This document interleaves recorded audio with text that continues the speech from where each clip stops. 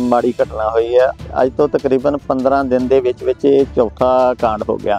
ਪਹਿਲਾਂ 15 ਦਿਨ ਪਹਿਲਾਂ ਇੱਕ ਬੱਚੇ ਨੂੰ ਕੁੱਤਿਆਂ ਨੇ ਨੋਚ-ਨੋਚ ਕੇ ਖਾ ਲਿਆ ਸੀ। ਉਸ ਤੋਂ ਬਾਅਦ ਚ ਇੱਕ ਲੇਡੀਜ਼ ਆਏ। ਲੇਡੀਜ਼ ਨੂੰ ਕਾਫੀ ਜਿਹੜਾ ਗੰਭੀਰ ਰੂਪ ਦੇ ਵਿੱਚ ਜ਼ਖਮੀ ਕਰਤਾ। ਉਹ ਜੇਰੇ ਇਲਾਜ ਸੁਲਤਾਨ ਕਪੂਰਥਲਾ ਦੇ ਸਿਵਲ ਹਸਪੀਟਲ ਵਿੱਚ ਐਡਮਿਟ ਆ। ਤੇ ਉਹਦਾ ਵੀ ਕੋਈ ਪਤਾ ਨਹੀਂ, ਉਹ ਵੀ ਸੀਰੀਅਸ ਆ। ਤੇ ਇਸ ਤੋਂ ਬਾਅਦ 'ਚ ਅੱਜ ਰਾਤ ਇੱਕ ਲੇਡੀ ਸੀਗੇ, ਉਹ ਆਪਣੇ ਪੱਠੇ ਲੈਣ ਗਈ ਇੱਥੇ ਲਾਗੇ ਬੰਨੇ। ਉਹਨੂੰ ਵੀ ਨੋਚ-ਨੋਚ ਕੇ ਕੁੱਤਿਆਂ ਨੇ ਖਾ ਲਿਆ। ਤੇ ਉਹ ਤਾਂ ਬਿਲਕੁਲ ਹੀ ਉਹਦਾ ਮਾਸ ਮਾਸ ਸਾਰਾ ਕੁਝ ਖਾ ਗਿਆ ਤਾਂ ਹੱਡੀਆਂ ਹੀ ਬਚੀਆਂ ਵਾ। ਤੇ ਇਹ ਮੇਰੀ ਨਨਾਣ ਸੀਗਾ ਇਹ ਉੱਥੇ ਹਾਂ ਡੈਡ ਹਾਊਸ ਨਾਲ ਨੇ ਜਾਣੀ ਉਹ ਕੋਈ ਚੌਥਾ ਪੰਜਵਾਂ ਗੀਤ ਨਹੀਂ ਖਾ ਕੇ ਰਾਜੀ ਉਹ ਜਾਨਵਰਾਂ ਨੂੰ ਇਨ ਇਹਨੂੰ ਸੌਰੀ ਆਦਮੀ ਨੂੰ ਉਹ ਮੁੰਡੇ ਤਾਂ ਉਦੋਂ ਉਹਨਾਂ ਪਤੰਗ ਵਾਲੇ ਮਹਾ ਭਜਾਏ ਯਾਰ ਉਹ ਕਸ ਲੋਏ ਹਾਂ ਕੱਲੀ ਹੋ ਗਿਆ ਜੀ। ਇੱਕ ਇੱਕ ਇੱਕ ਹਾਦਸਾ ਹੋਇਆ ਹੈ, ਤਕਰੀਬਨ 20 ਦਿਨ ਪਹਿਲਾਂ ਬੱਚਾ ਸੀਗਾ ਇੱਕ। ਆਪਣੇ ਲਾਗੇ ਨਾਲ ਹੀ ਪਿੰਡ ਹੈਗਾ ਝੰਡੂਵਾਲ। ਉੱਥੇ ਰਹਿੰਦਾ ਸੀਗਾ ਜੀ ਮੋਟਰ ਤੇ ਰਹਿੰਦੇ ਵਿਚਾਰੇ ਉਹ।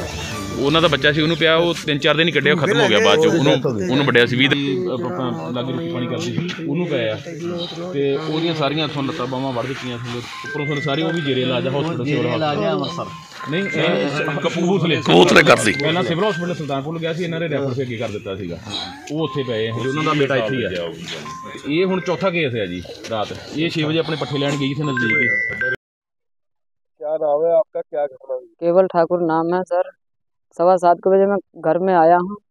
तो मैं अपने बच्चे को पूछा हूँ माँ कहाँ है? तो मेरे बोल रहा है गया है पठा लाने के लिए? पापा देख के आओ कहीं कुत्ता तो नहीं काट लिया है? तो गया हूँ तो वाकई में सवा सात के बजे मैं गया हूँ खेत में तो देख रहा कुत्ता खाया हुआ। ये एक घटना आगे भी हो चुका है कुत्ते ने खाया है एक बच्चों को भी मौत कर, चुके हैं सर। और एक अभी जनानी है अस्पताल में दाखिल हो रखे हैं। ये कुत्तों को काबू किया जाए सर। क्या गरीब बनते हैं क्या नजायज काम किए हैं ये बताओ हमको। जो इनका जो है। काटा गया हाँ जी बहुत बुरी तरह से काट चुका है सर।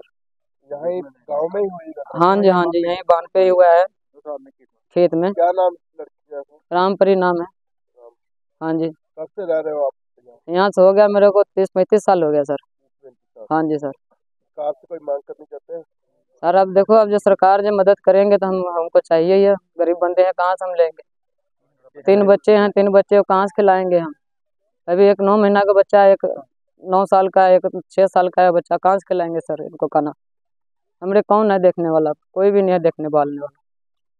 हमारे तीन बच्चा को कैसे गुजारा चलेंगे? हम दिहाड़ीदार मज- मजदूर बनते हैं कैसे काम करेंगे कैसे खिलाएँगे?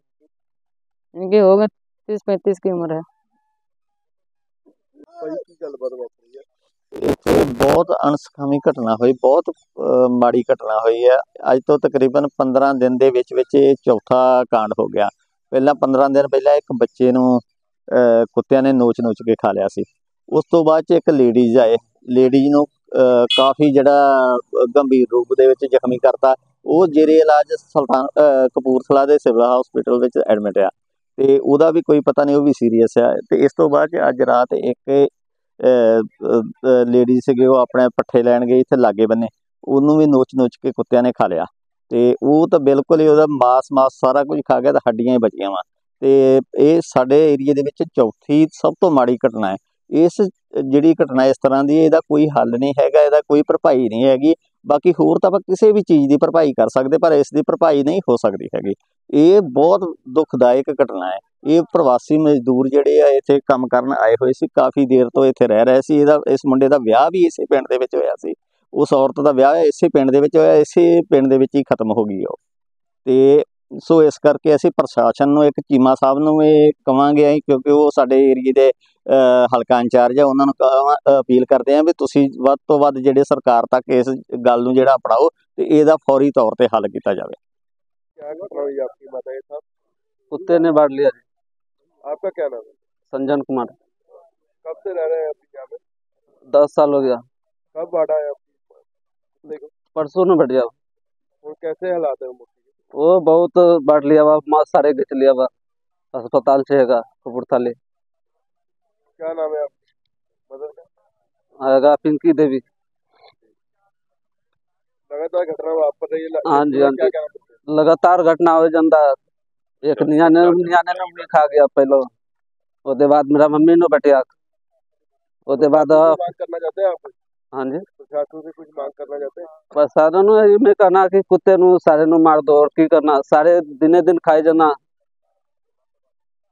ਕੋਈ ਲਗਾ ਤੁਹਾਡੇ ਪਿੰਡ 'ਚ ਘਟਨਾਵਾਂ ਵਾਪਰ ਰਹੀਆਂ ਕੀ ਕਹਿਣਾ ਚਾਹੁੰਦੇ ਹੋ ਇਸ ਬਾਰੇ ਦੇਖੋ ਜੀ ਹੁਣ ਸਰਕਾਰ ਮਦਦ ਕਰੇ ਅੱਗੇ ਇੱਥੇ ਸਾਡੇ ਆਉਂਦੇ ਹੁੰਦੇ ਸੀ, ਸ- ਸਿਵਲ ਹਸਪਤਾਲ ਤੋਂ ਡਾਕਟਰ ਨੇ ਆਉਣਾ ਤੇ ਕੁੱਤਿਆਂ ਨੂੰ ਵਾਰਾਂ ਨੂੰ ਦਵਾਈ ਪਾ ਕੇ ਚਲੇ ਜਾਣੀ ਉਹ ਕੁੱਤਿਆਂ ਨੇ ਖਤਮ ਹੋ ਜਾਣਾ ਹੁਣ ਇਹਨਾਂ ਨੂੰ ਕੁੱਤਿਆਂ ਨੂੰ ਮਾਰਨ ਦਾ ਵੀ ਬੈਨ ਲਾਤਾ ਤੇ ਕੁੱਤਿਆਂ ਨੇ ਗਰੀਬ ਪਰਿਵਾਰ ਦੇ ਬੱਚੇ ਖਾਣੇ ਸ਼ੁਰੂ ਕਰ ਦਿੱਤੇ ਆ ਤੇ ਆ ਵੇਖੋ ਜਨਾਨੀ ਦਾ ਵਿਚਾਰੀ ਆਦੇ ਗਾਂ ਵਾਸਤੇ ਪੱਠੇ ਲੈਣ ਗਈ ਆ। ਬਹੁਤ ਬੁਰੀ ਤਰ੍ਹਾਂ ਨੂੰ ਵਿਚਾਰੀ ਨੂੰ ਲੋਚ ਲੋਚ ਕੇ ਖਾ ਗਏ ਆ। ਇਸ ਤੋਂ ਪਹਿਲਾਂ ਵੀ ਇੱਕ ਜਨਾਨੀ ਨੂੰ ਖਾ ਗਏ ਆ ਉਹ ਹਸਪਤਾਲ 'ਚ ਪਈ ਆ। ਇੱਕ ਬੱਚਾ ਬਿਲਕੁਲ ਹੀ ਉਹਨੂੰ ਛੱਡਿਆ ਨਹੀਂ ਕਦਮ ਉਹਦੇ ਸਿਰਫ ਕੇਸ ਹੀ ਬੱਚ- ਦੀ।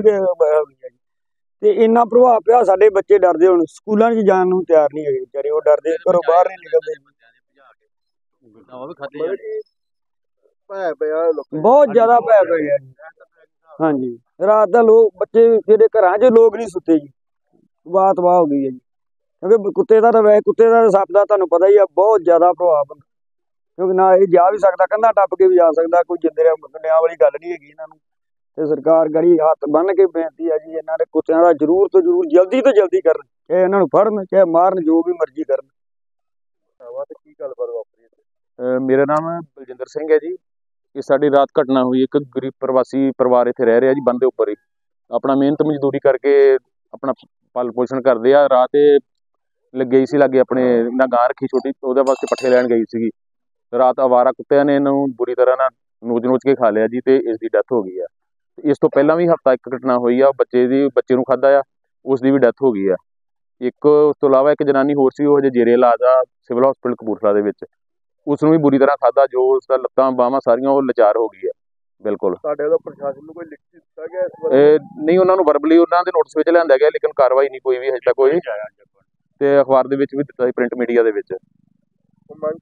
ਮੰਗ ਹੈ ਸਾਡੀ ਪ੍ਰਸ਼ਾਸਨ ਤੋਂ ਇੱਕ ਤੇ ਇਹਨਾਂ ਪ੍ਰਵਾਸੀ ਮਜ਼ਦੂਰ ਜਿਹੜੇ ਹੈਗੇ ਜੋ ਇਹਨਾਂ ਦੀ ਭਰਪਾਈ ਕੀਤੀ ਜਾਵੇ ਜੋ ਵੀ ਇਹਨਾਂ ਦੀ ਵੱਧ ਤੋਂ ਵੱਧ ਮਦਦ ਕੀਤੀ ਜਾਵੇ ਪ੍ਰਸ਼ਾਸਨ ਵੱਲੋਂ। ਤੇ ਦੂਸਰਾ ਇਮੀਡੀਏਟਲੀ ਜਿਹੜਾ ਅਵਾਰਾ ਕੁੱਤੇ ਹੈਗੇ ਆ ਇਹਨਾਂ ਨੂੰ ਕਿਸੇ ਨਾ ਕਿਸੇ ਖਾਤਮਾ ਕੀਤਾ ਜਾਵੇ ਇਹਨਾਂ ਦਾ। ਕਾਬੂ ਪਾਇਆ ਜਾਵੇ ਇਹਨਾਂ ਦੇ ਉੱਤੇ। ਘਟਨਾ 'ਚ। ਇਹ ਤੀਸਰੀ ਘਟਨਾ ਜੀ। ਔਰ ਇਹ ਵੀ ਸਰ ਉੱਥੇ ਬੈਠੇ ਤੇ ਰਾਤ ਨੂੰ ਵੀ ਕੋਈ ਹਰ ਕੋਈ ਘਰ ਤੋਂ ਬਾਹਰ ਨਿਕਲਣ ਵਾਸਤੇ ਡਰਦਾ ਆ। ਕੋਈ ਕਿਸਾਨਾਂ ਨੇ ਵੀ ਆਪਣੀ ਮੋਟਰ ਤੇ ਖੇਤੇ ਜਾਣਾ ਹੁੰਦਾ ਕੰਮ ਕਰ। ਮਜ਼ਦੂਰ ਵੀ ਵਿਚਾਰੇ ਬੜੇ ਪਰੇਸ਼ਾਨ ਨੇ ਇਸ ਤੋਂ। ਬੱਚੇ ਜਾਂਦੇ ਸਕੂਲ ਨਹੀਂ ਜਾਂਦੇ ਹਾਂਜੀ। ਭਾਜੀ ਮੌਕੇ ਤੇ ਐਸਐਚਓ ਤੁਸੀਂ ਤੇ ਕੀ ਘਟਨਾ ਹੋਈ? ਇੱਥੇ ਜੀ ਹੁਣੇ ਹੁਣੇ ਸਾਨੂੰ ਇਨਫੋਰਮ ਇਨਫੋਰਮੇਸ਼ਨ ਮਿਲੀ ਆ ਕਿ ਇੱਕ ਲੇਡੀ ਸੀ ਜਿਹਨੂੰ ਰਾਤੀ ਕੱਲ ਸ਼ਾਮ ਨੂੰ ਕੁੱਤਿਆਂ ਨੇ ਖਾ ਲਿਆ ਤੇ ਉਹਦੀ ਡੈਥ ਹੋ ਗਈ ਆ। ਐਕਚੁਅਲੀ ਸਾਨੂੰ ਸਵੇਰੇ ਇਨਫੋਰਮ ਕੀਤਾ ਇਹਨਾਂ ਨੇ ਘਟਨਾ ਕੱਲ ਸ਼ਾਮ ਦੀ ਆ। ਸਾਨੂੰ ਹੁਣੇ ਹੀ ਮਿਲਿਆ ਖਬਰ ਤੇ ਹੁਣੇ ਮੈਂ ਇੱਥੇ ਮੌਕੇ ਤੇ ਆ ਗਿਆ।